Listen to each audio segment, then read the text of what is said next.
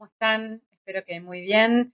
Me encanta que estén acá. Les voy a compartir 15 producciones, 15 cuestiones que encontré, elementos, sorpresitas de diseño y de arte eh, en el último viaje a Nueva York.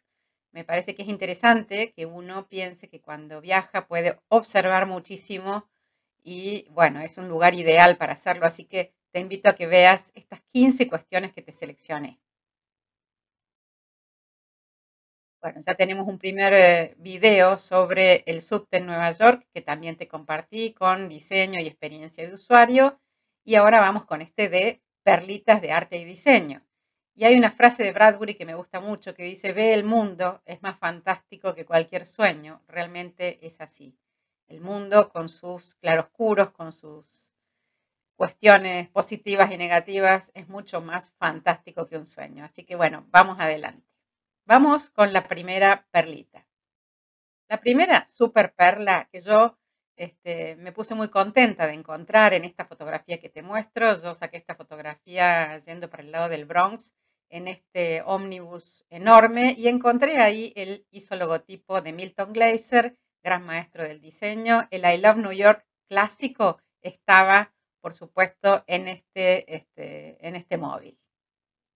Bueno, el logotipo de Love New York, acá tienen la famosa servilleta que se expone en el MoMA en Nueva York y es la, servilleta donde él pensó esta pequeña ideita y este hizo logotipo ya tiene 47 años. Es interesante que tomes este, nota de este asunto. Ya vamos a hacer un video más largo, por supuesto, con la obra de Milton Glaser. Se lo merece y la verdad es que es enorme. Así que bueno, este es el primer tema que yo digo, bueno, ¿está o no está? A esta altura en Nueva York. Sí está y ya tiene 47 años este isologotipo que evidentemente es excelente.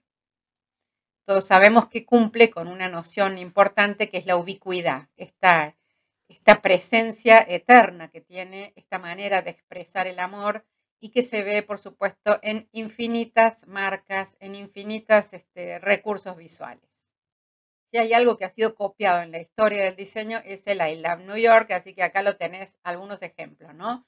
Vos reconocerás otros. Bueno, eh, el segundo ítem que te quiero comentar que me parece muy interesante. Hay un lugar que se llama Cats donde este, sirven una comida maravillosa que es un famoso sándwich de pastrami. Este lugar fue fundado en 1888 y tiene 136 años. Esta es la esquina. La fachada, ese cartel se realizó entre 1946 y 1949 y ahí está, tal cual como en esa época. Esto es lo que vende, eh, lo que vende este Katz y me parece interesante que lo sepas, ¿no? Este es su producto que es una verdadera estrella, riquísimo y maravilloso.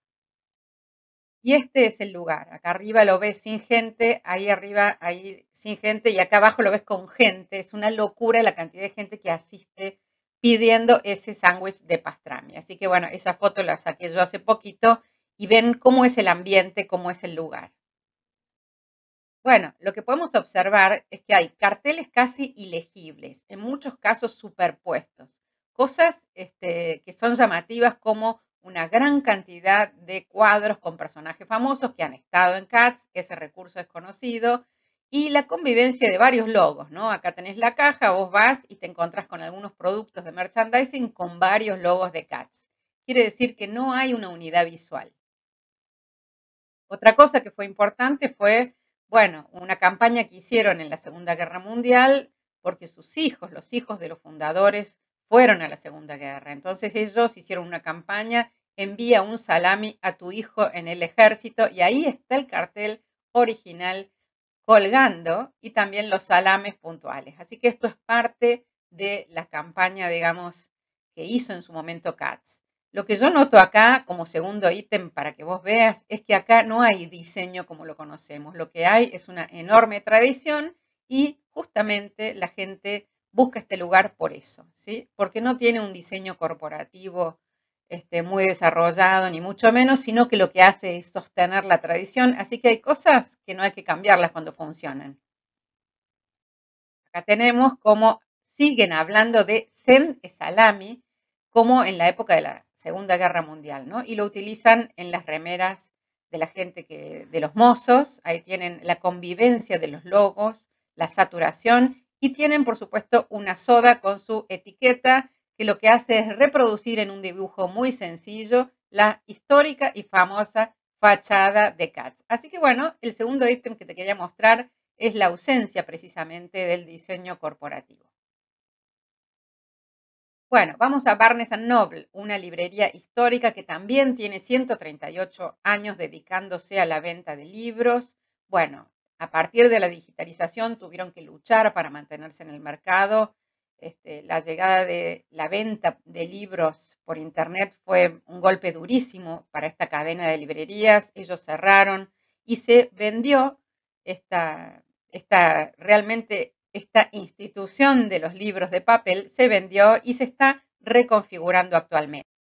Eh, yo les mostré en un video anterior estas bolsas de, de Barnes Noble que me encantan, donde ellos dan valor a los autores, a los escritores, ¿no? Esto, todo esto te lo expliqué en un video especial, ya te voy a decir cuál. Y la verdad es que esta idea de valorizar a los autores, yo digo, bueno, estará, no estará, continuará en Barnes Noble. Yo había visto esta idea en mi primer viaje a Nueva York en 1999, así que digo, ¿cómo seguirá? Y bueno, este es el gran ilustrador de esas bolsas para que tomes notas.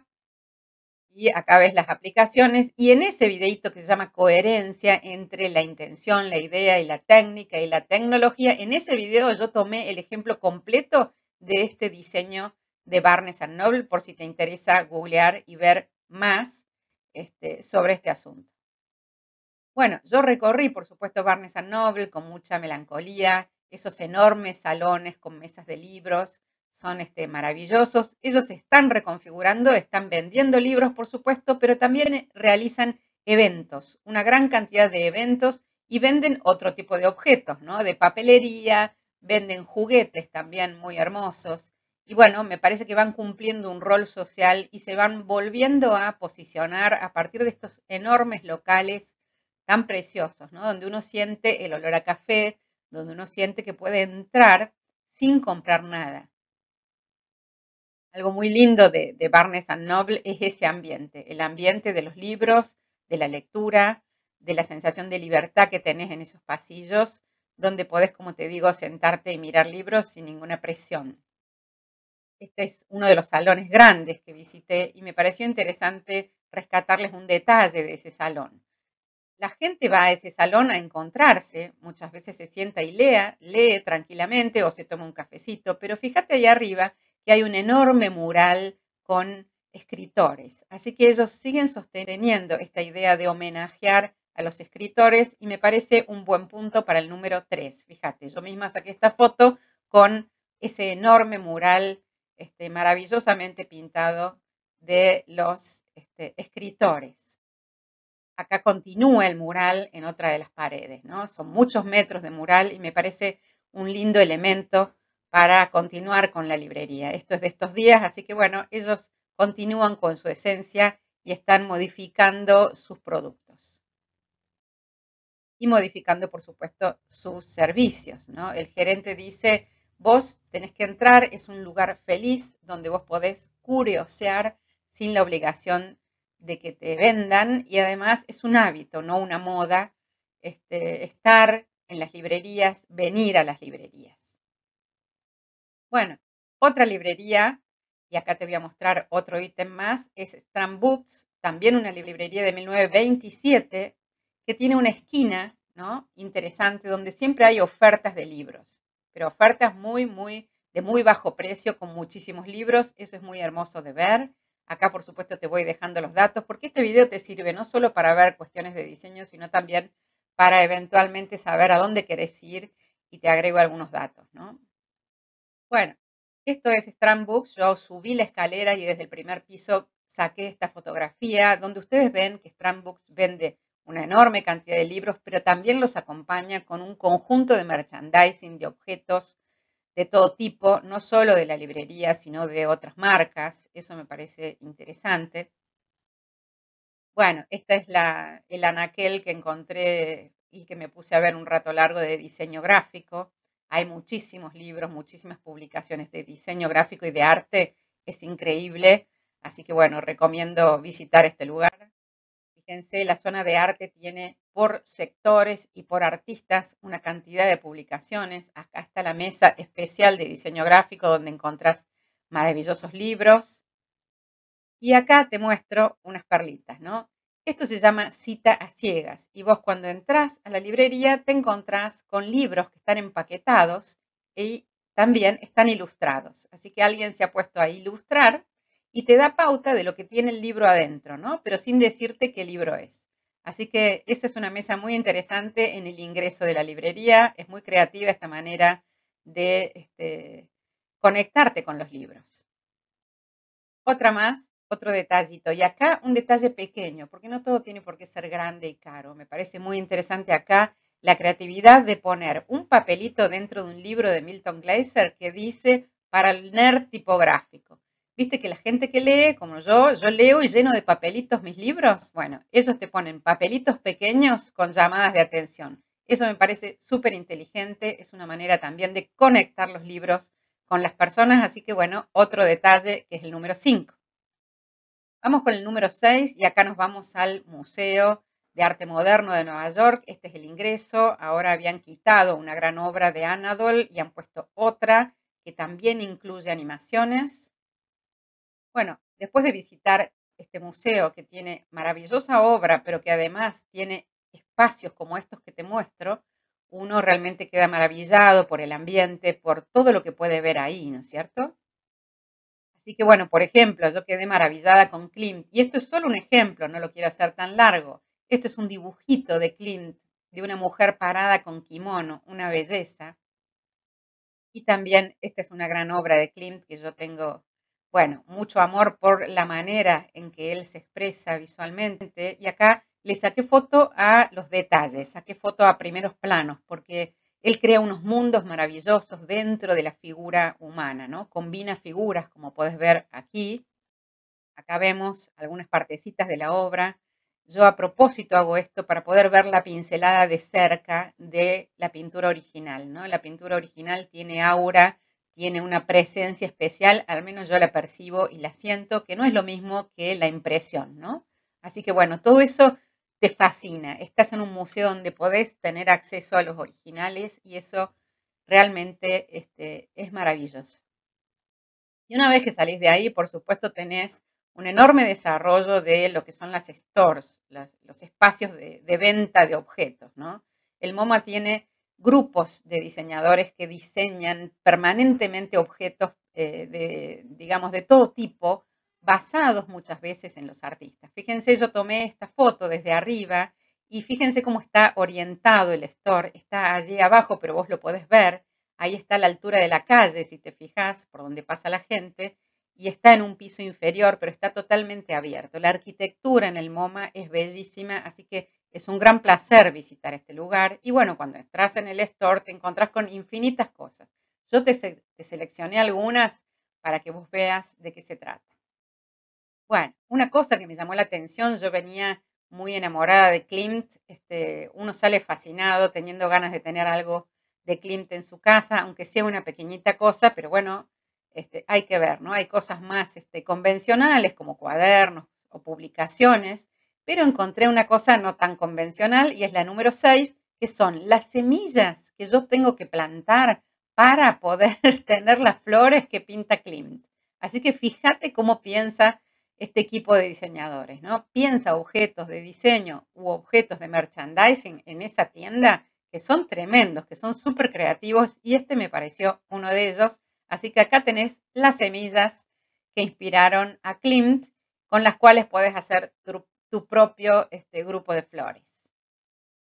La 7, vamos con la 7. Otro objeto que encontré en el store del, del, MoMA se llama la casa inundada y es este objeto, este cuenco de cerámica que tiene una pequeña casita en el centro. ¿sí? Acá tenés los datos del diseñador que se llama Patrick Martínez y él hace dibujos, esculturas, instalaciones y ha hecho esto. Este diseño me llamó muchísimo la atención el cuenco tiene una curva convexa, ¿no? esculpida dentro, en el centro de manera tal que se pueden superponer estos cuencos y me pareció hermosísima la idea de la casa inundada. Vos le pones sopa, le pones fruta, lo que sea y se inunda la casita. Fíjate qué pieza, qué objeto de diseño tan hermoso, ¿no?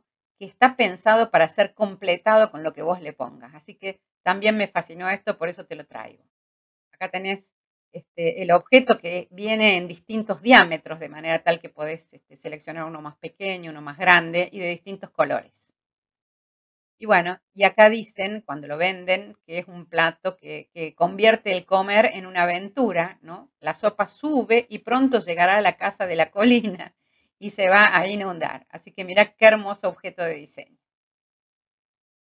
Bueno, el número 8, encontré un reloj que se llama reloj redundante. Evidentemente, acá lo ves y sabes de qué se trata. Yo saqué esta fotografía eh, donde se ve el precio, 230 dólares. Y este reloj redundante lo diseñó Ji Lee en 2018 y es un reloj que muestra dos veces la hora, con la idea de situarse y valorar el presente. Esa es la idea, esa es la idea del diseñador y quería mostrarte este este, objeto de diseño también y que me digas qué opinas, ¿no? Si son piezas creativas, si te gustan o no, cómo las ves, qué te parece, qué te comprarías de todo lo que te estoy mostrando acá. Bueno, el 9, encontré anteojos de Kate Haring, firmados por Kate Haring. Kate Haring fue un gran artista, trabajó en Nueva York, por supuesto, y bueno, cuando yo vi esos anteojos recordé los anteojos de Kate Haring, empecé a buscarlo y me di cuenta que no son exactamente los que usaba Kate Haring.